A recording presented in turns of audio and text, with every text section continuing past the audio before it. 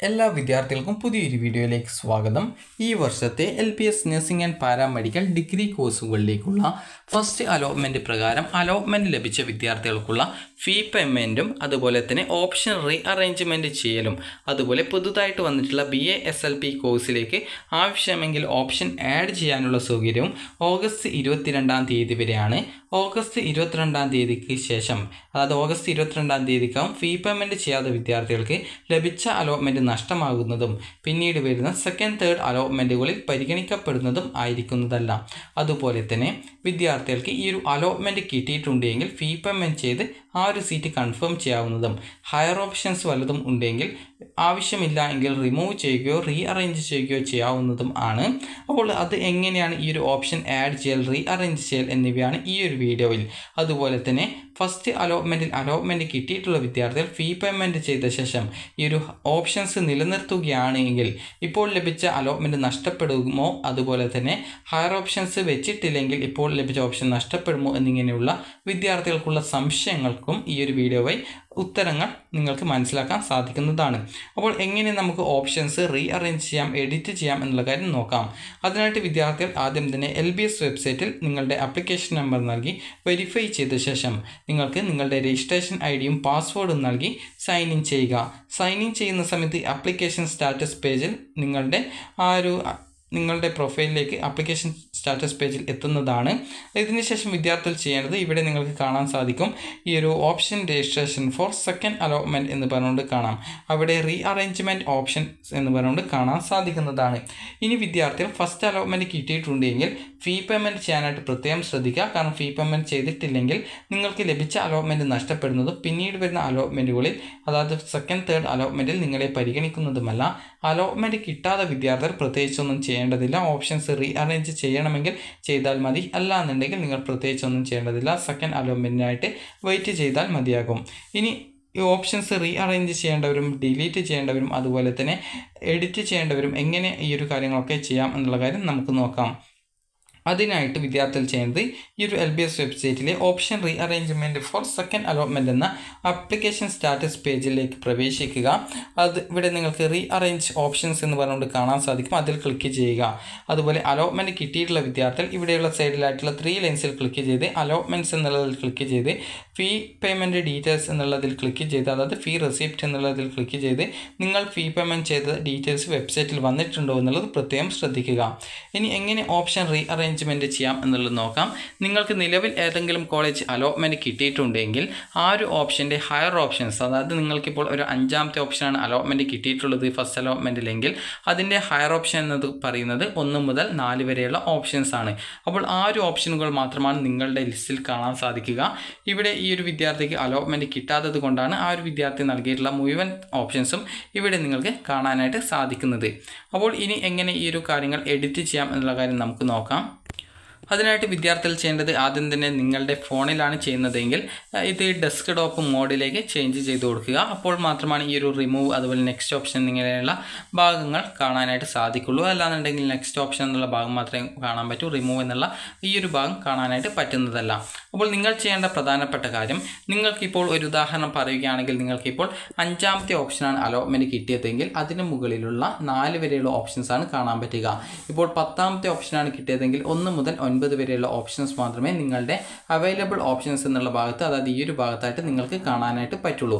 നിങ്ങൾക്ക് ഏതെങ്കിലും option remove ചെയ്യണമെങ്കിൽ ഇവിടെയുള്ള റിമൂവ് ബട്ടൺ ക്ലിക്ക് ചെയ്തുകൊണ്ട് ആ ഒരു ഓപ്ഷൻ റിമൂവ് ചെയ്യാവുന്നതും അതിനുശേഷം സേവ് ബട്ടണിൽ ക്ലിക്ക് ചെയ്യാവുന്നതും ആണ്. ഇപ്പോൾ ഒരു ഉദാഹരണം പറയുകയാണ് എങ്കിൽ നിങ്ങൾക്കിപ്പോൾ അലോട്ട്മെന്റ് ആയിട്ട് ലഭിച്ചിട്ടുള്ളത് നാലാമത്തെ അതായത് അഞ്ചാമത്തെ ഓപ്ഷനാണെന്ന് കരുതുക. ആ ഒരു കോളേജ് നിങ്ങൾക്ക് സാറ്റിസ്ഫൈഡ് ആണ്. അപ്പോൾ നിങ്ങൾ ടോക്കൺ ഫീ പേയ്മെന്റ് ചെയ്തിട്ടുണ്ട് എന്ന് കരുതുക. ടോക്കൺ ഫീ പേയ്മെന്റ് ചെയ്ത് കഴിഞ്ഞാൽ ആ ഒരു സീറ്റ് നിങ്ങൾക്ക് കൺഫേം ആയി. ഇനി നിങ്ങൾക്ക് ഹയർ ഓപ്ഷൻസ് ഒന്നും വേണ്ട. അതായത് അടുത്ത അലോട്ട്മെന്റിൽ ഒരു കോളേജിലേക്കും അതായത് മുകളിലുള്ള മറ്റു ഒരു ഓപ്ഷൻസും നിങ്ങൾക്ക് വേണ്ട എന്നാണെങ്കിൽ ഇവിടെയുള്ള റിമൂവ് ബട്ടണിൽ ക്ലിക്ക് ചെയ്ത് നിങ്ങളുടെ ഓപ്ഷൻസ് ഏതൊക്കെ ഓപ്ഷൻസ് വേണ്ട അതിന് നേരെയുള്ള റിമൂവ് ബട്ടണിൽ ക്ലിക്ക് ചെയ്ത് അത് റിമൂവ് ചെയ്യാവുന്നതും. റിമൂവ് ചെയ്ത ശേഷം നിങ്ങൾക്ക് സേവ് എന്നുള്ള ഈ ഒരു അതായത് ഏറ്റവും അടിയിലുള്ള ഈ ഒരു ഭാഗത്ത് സേവിൽ ക്ലിക്ക് ചെയ്ത് ആ ഒരു ഓപ്ഷൻസ് റിമൂവ് ചെയ്ത് കൊടുക്കാവുന്നതും ആണ്. നിങ്ങൾക്ക് ഈ ഒരു രീതിയിൽ ആവശ്യമില്ലാതെ ഒരു ഓപ്ഷനാണ് നിങ്ങൾക്ക് ആവശ്യമില്ലാത്തതെങ്കിൽ ആ ഒരു ഓപ്ഷന്റെ നേരെയുള്ള റിമൂവ് ബട്ടൺ ക്ലിക്ക് ചെയ്ത് ആ ഒരു ഓപ്ഷൻ മാത്രം റിമൂവ് ചെയ്തുകൊണ്ട് സേവ് ചെയ്യാവുന്നതാണ്. അപ്പോൾ ഈ ഒരു രീതിയിൽ നിങ്ങൾക്ക് ഇപ്പോൾ ലഭിച്ച ഓപ്ഷനിൽ നിങ്ങൾക്ക് താല്പര്യമുണ്ട്. അവിടെ ടോക്കൺ ഫീ പേയ്മെന്റ് ചെയ്തു. ആ ഒരു സീറ്റ് തന്നെ മതി. ഇനി ഹയർ ഓപ്ഷൻസ് ഒന്നും നോക്കുന്നില്ല എങ്കിൽ അങ്ങനെയുള്ള വിദ്യാർത്ഥികൾക്ക് ഈ ഒരു മുകളിലുള്ള ഒന്ന് മുതൽ നാല് വരെ അതായത് നിങ്ങൾക്ക് ഇപ്പോൾ ലഭിച്ച ഓപ്ഷന്റെ മുകളിലുള്ള മുഴുവൻ ഓപ്ഷൻസിനെയും റിമൂവ് ചെയ്യാവുന്നതും. പിന്നീട് തേർഡ് അലോട്ട്മെന്റിന് ശേഷം ഇപ്പോൾ അലോട്ട്മെന്റ് ലഭിച്ച ടോക്കൺ ഫീ പേയ്മെന്റ് ചെയ്ത് കൺഫേം ചെയ്ത ആ ഒരു സീറ്റിൽ നിങ്ങൾക്ക് അഡ്മിഷൻ നേടാവുന്നതും ആണ്.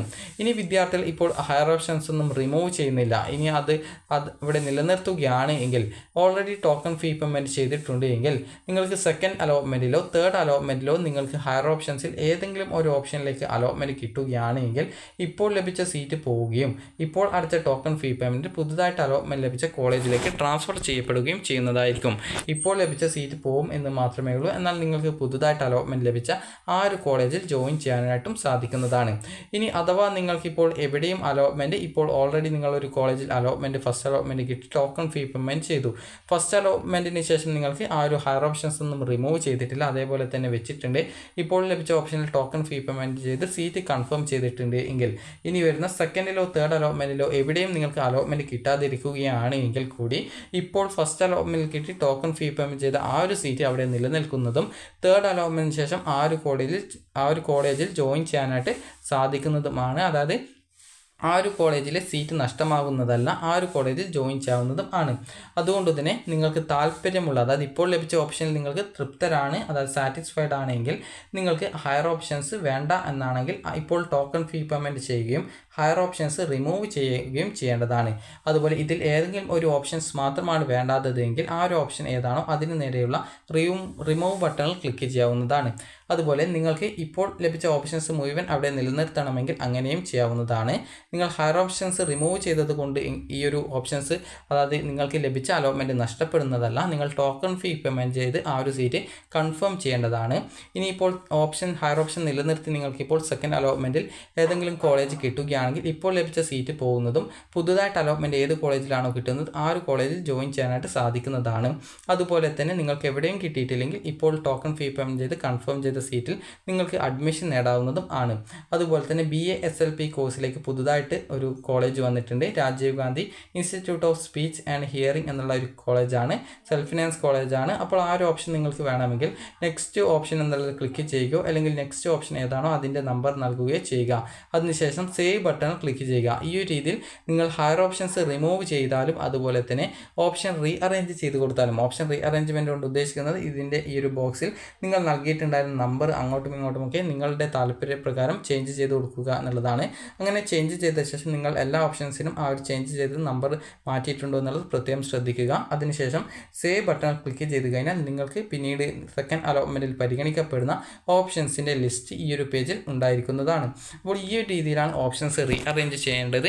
അപ്പോൾ നിങ്ങൾക്ക് ഈ ഒരു റീ അറേഞ്ച്മെന്റുമായി ബന്ധപ്പെട്ടുള്ള എല്ലാവിധ സംശയങ്ങളും മാറിയിട്ടുണ്ടാകും എന്ന് കരുതുന്നു. അപ്പോൾ ഈ ഒരു വീഡിയോ നിങ്ങൾക്ക് ഉപകാരപ്രദമായിട്ടുണ്ടെങ്കിൽ ലൈക്ക് ചെയ്യുക ഷെയർ ചെയ്യുക. Thank for watching